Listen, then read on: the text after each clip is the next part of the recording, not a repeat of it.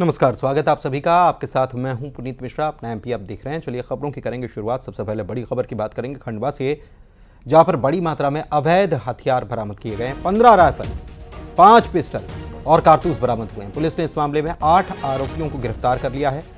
पूर्व बंदूक कारोबारी अजहर बख्श, ये हथियार बेच रहा था। लाइसेंस रद्द होने के बाद भी ये हथियारों की बिक्री का काम कर रहा था। लोकसभा चुनाव को देखते हुए पुलिस की ये कार्रवाई हुई है। लोकसभा चुनाव के बीच पुलिस का ये एक्शन देखने को मिला है।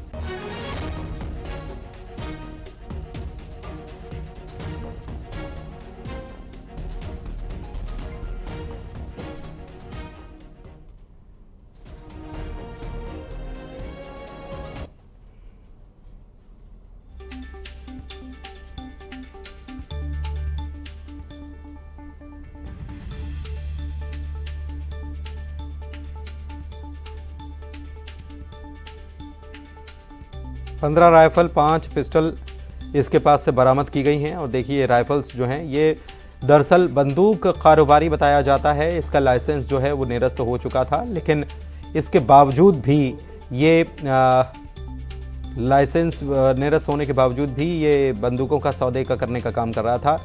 आठ लोग इस मामले में गिरफ़्तार किए गए हैं। तो चुनाव जो है उसके मद्देनज़र पुलिस एक्शन में नज़र आ रही है और पुलिस ने ये बड़ी कार्रवाई को अंजाम दिया है।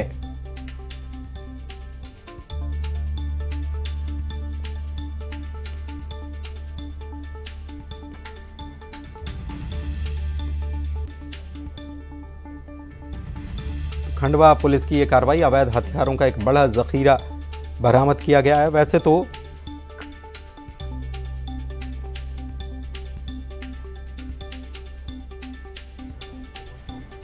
तरह के लाइसेंसी हथियार पुलिस द्वारा जमा करा लिए गए थे। उसके बाद ये सूचना प्राप्त हो रही थी कि कई ग्रामीण क्षेत्रों में हथियारों के साथ कुछ लोग देखे जा रहे हैं। इस पर पुलिस की एक विशेष टीम बना के मुखबिर तंत्र को डेवलप किया गया। और इस पूरी कड़ी में अभी तक आठ व्यक्तियों को पुलिस ने गिरफ़्तार किया है। उनके कब्जे से बारह बारह बोर की बंदूकें तीन point two two air rifles और साथ ही पाँच अवैध पिस्टलें बरामद की और डेढ़ सौ के करीब कारतूस पुलिस ने बरामद किया है। वहीं इंदौर में कार से सात लाख रुपए जब्त किए गए। वाहन चेकिंग चल रही थी, इस दौरान ये रकम जब्त की गई है। खुड़ैल थाना क्षेत्र का ये पूरा मामला है तो बड़ी मात्रा में ये रकम मिली है। कार में छिपा कर ले जाई जा रही थी। सात लाख रुपए की रकम है। वाहन चेकिंग का काम जो है, वो लगातार चल रहा है। इस दौरान ये रकम बरामद की गई। खुड़ैल थाना क्षेत्र का ये मामला है।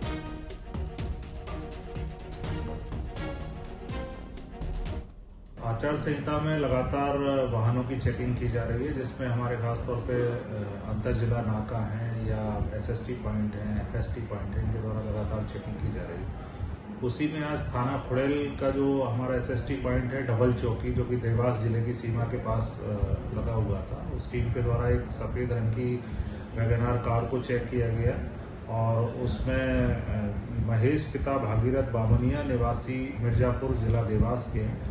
उनके पास से सात लाख ग्यारह हज़ार रुपये कैश मिला, जिसका वो कोई हिसाब नहीं ले पाए कि वो कहाँ से इतना पैसा आया। और वो देवास ज़िले से इंदौर लेके आ रहे थे उस पैसे को। और जो कार है M P zero nine Z C nine one three four, इसमें ये लेके जा रहे थे। एस एस टी टीम के द्वारा विधिवत रूप से उस पैसे की जब्ती की गई है। दमोह से खबर आपको बता रहे हैं, जहाँ पर लोकायुक्त की टीम ने छापे की कार्रवाई की है और रिश्वत लेते हुए गेहूँ उपार्जन केंद्र प्रभारी को गिरफ़्तार कर लिया गया। ये साढ़े तीन हज़ार रुपए की घूस ले रहा था। हरि सिंह ठाकुर इसका नाम है, जो कि गेहूँ उपार्जन केंद्र का प्रभारी है। हरि सिंह ठाकुर, साढ़े तीन हज़ार रुपए की रिश्वत लेते गिरफ़्तार किया गया है। सागर लोकायुक्त की टीम ने यह कार्रवाई की है। दमोह में यह कार्रवाई हुई है। पटेरा गेहूँ उपार्जन केंद्र प्रभारी हरि सिंह ठाकुर हैं। और किसान प्रकाश पटेल से ये मांग रहे थे पैसे और प्रकाश पटेल की शिकायत पर कार्रवाई की गई है। साकर लोकायुक्त की टीम ने ये दबिश देकर रंगे हाथों गिरफ़्तार कर लिया। और हम फलाने आए थे। हमने दो ट्राली जो गेहूँ तोला था, उसका इनने फ़ोन पे पे भी लिया था पैसा। फिर मैं एक ट्राली और लेके आया तो मैंने कहा, गेहूँ तोल। लिए तो बोले, पैसा लगेगा। इनने पैसे की मांग थी तो दो ट्राली गेहूँ ने पैंतीस सौ रुपये की मांग की। क्योंकि मैं पैसा देना नहीं चाह रहा था मुझे मजबूरन प्रशासन का सहयोग लेना पड़ा। आ, हमारे यहाँ पर जो प्रकाश पटेल जी हैं महुना निवासी का पटेरा के उन्होंने शिकायत की थी कि जो उपार्जन केंद्र पटेरा है यहाँ के जो प्रभारी हैं हरि सिंह ठाकुर ये गेहूँ तुलाई के एवज में प्रति क्विंटल पच्चीस रुपए के हिसाब से रिश्वत मांग रहे हैं। इनकी शिकायत का सत्यापन किया सत्यापन का सही पाई शिकायत। तो जो उन्होंने डिमांड की थी हरि सिंह ठाकुर ने, लगभग इनका एक सौ चौहत्तर क्विंटल गेहूँ था, जो तुलना था तो एक सौ पच्चीस पच्चीस रुपए क्विंटल के हिसाब से पैंतीस सौ रुपए करीब इनका बन रहा था, जो उन्होंने डिमांड करी थी। तो उसी पैंतीस सौ रुपए को लेते हुए पकड़े गए हैं हरि सिंह ठाकुर साहब को इन्होंने सुना चलिए बात करेंगे उज्जैन की, जहाँ पर होटल में शादी समारोह के दौरान ज्वेलरी और नकदी से भरा बैग चोरी कर लिया गया। चोरों ने स्टेज के पास से ही ज्वेलरी और नकदी से भरा बैग लिया। और यहाँ से फरार हो गए। चोरी की वारदात यहाँ पर जो सीसीटीवी कैमरा लगा है, उसमें कैद हो गई है। पुलिस ने सीसीटीवी फुटेज के आधार पर आरोपियों की तलाश शुरू कर दी है।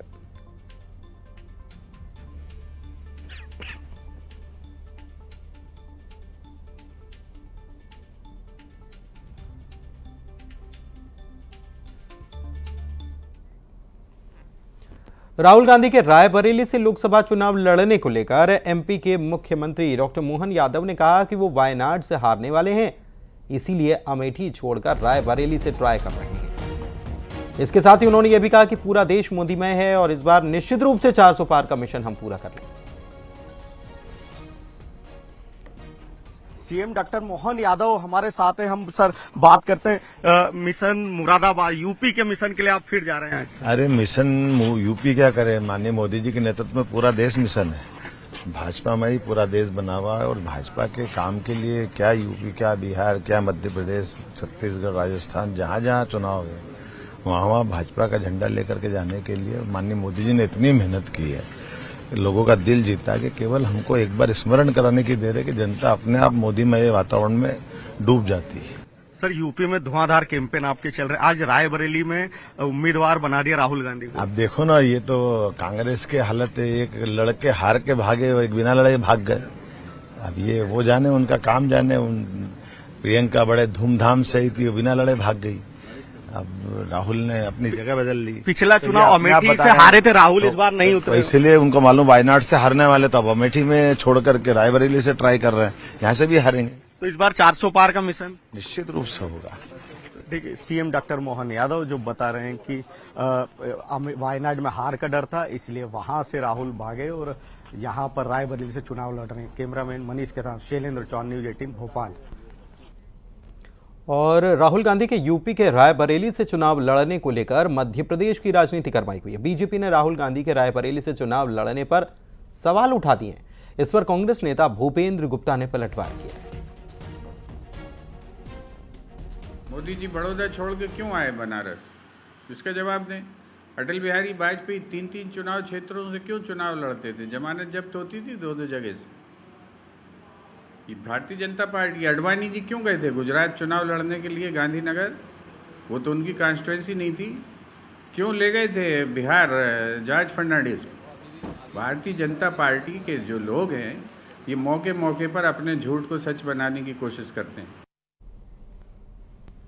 इधर इमरती देवी पर दिए गए पीसीसी चीफ जीतू पटवारी के बयान के बाद एमपी की राजनीति में उबाल आया हुआ है। इंदौर में कांग्रेस प्रदेश अध्यक्ष के घर के बाहर महिलाओं ने प्रदर्शन किया। चूड़ियाँ लेकर पहुँची महिलाओं ने इमरती देवी को लेकर दिए गए जीतू पटवारी के बयान की निंदा की है।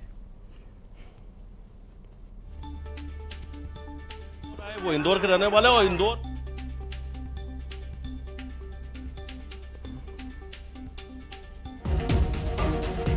माता अहिल्या माता।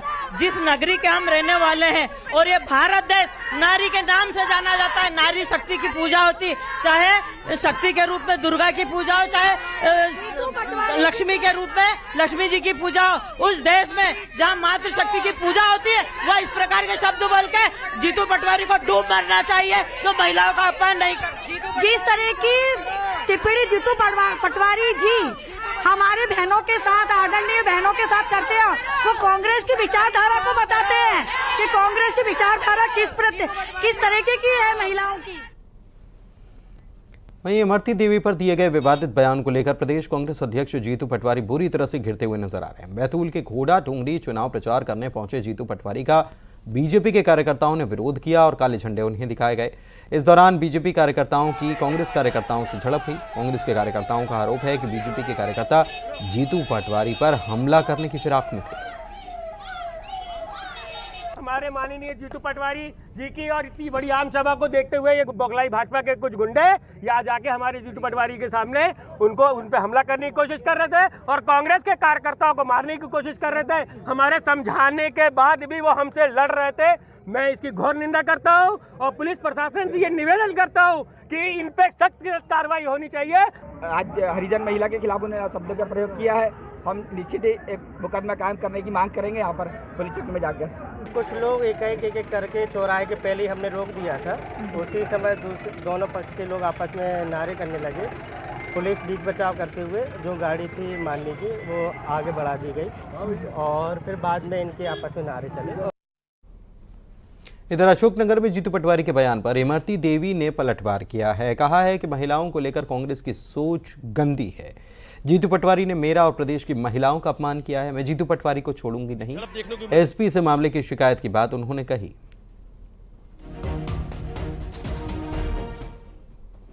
कानून ने किया है हमारा। हमारा क्या पूरे प्रदेश की रस खत्म हो गया जो अंदर चाशनी होती है। कानून ने किया है हमारा। हमारा क्या पूरे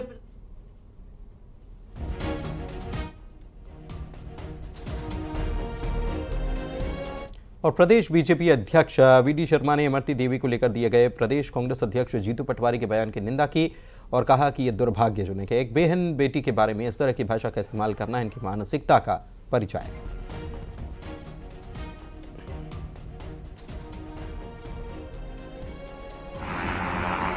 ये दुर्भाग्यजनक ही नहीं, बहुत ही निर्लज लोग हैं। एक बहन बेटियों के बारे में किस प्रकार की भाषा उपयोग करना जीतू पटवारी जी, आपने बहन इमरती देवी के लिए इन शब्दों का उपयोग किया है, ये आपकी उस मानसिकता का परिचय है कांग्रेस की सोच क्या है? इसका जवाब मध्य प्रदेश की बहने, देश की बहने, ये महिला विरोधी है।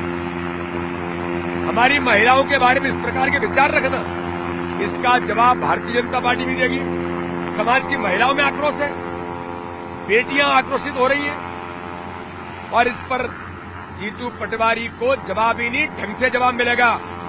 इन्हें पता लग जाएगा कि महिलाओं के बारे में इस प्रकार के शब्द कहना उसका परिणाम क्या होता है।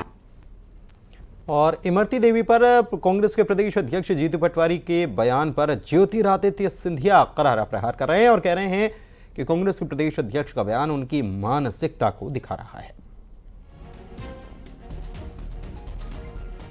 इतना घटिया बयान कांग्रेस के प्रदेश अध्यक्ष के द्वारा। ये मानसिकता दिखाती है। कांग्रेस प्रदेश के अध्यक्ष की, महिलाओं के प्रति, कांग्रेस पार्टी की, महिलाओं के प्रति, और जो निम्न स्थिति तक गिर चुकी है कांग्रेस, इसका जवाब कांग्रेस को सारे प्रदेश की महिलाएँ आने वाले दिनों में देंगी। इमरती देवी को दे, लेकर दिए गए जीतू पटवारी के बयान का सज्जन सिंह वर्मा ने बचाव कर दिया। इंदौर में उन्होंने कहा कि जीतू पटवारी युवा नेता हैं और उनकी मंशा ऐसी नहीं थी।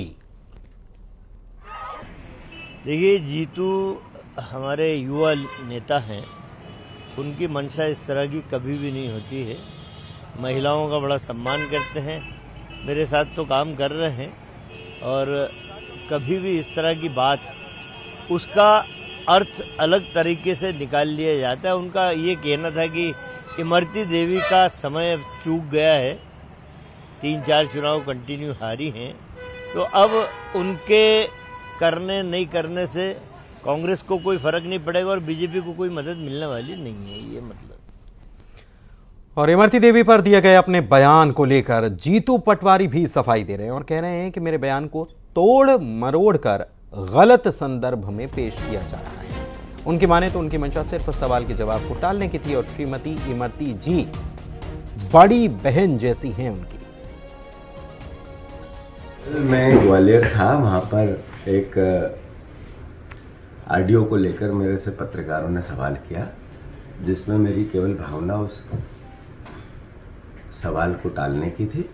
उस संदर्भ में मैंने जो वक्तव्य दिया, उसको तोड़ बड़र मरोड़ कर उसको गलत संदर्भ में प्रस्तुत किया जा रहा है। मैं इमरती देवी जी का जहाँ तक सवाल है, बड़ी बहन है मेरी, और चूँकि बड़ी बहन माँ जैसी होती है तो मैं इतना ही कहूँगा कि मेरा संदर्भ सिर्फ़ इतना था कि सवाल कैसे टले, और उसके अलावा इंटेंशन कुछ नहीं था। फिर भी अगर किसी प्रकार की कोई ऐसी भावना ठेस पहुँची हो किसी की भी तो मैं खेद व्यक्त करता हूँ, माफ़ी चाहता हूँ। ये किसी भी प्रकार से किसी भी संदर्भ में कोई नेगेटिविटी मेरे मन में भी नहीं थी, मेरे माइंड में भी नहीं थी न हाथ उड़ाना था, सिर्फ़ भावना सवाल को टालने की थी। शाहजहापुर के ग्रामीणों ने लोकसभा चुनावों में मतदान बहिष्कार की चेतावनी दी है। ग्रामीण हाईवे पर सर्विस रोड न बनने से आक्रोशित हैं। ग्रामीण लंबे समय से दरअसल सड़क बनाने की मांग कर रहे हैं। ग्रामीणों ने हाथ में तख्तियाँ लेकर प्रदर्शन किया। अधिकारियों के समझाने के बाद ग्रामीणों ने प्रदर्शन को खत्म किया।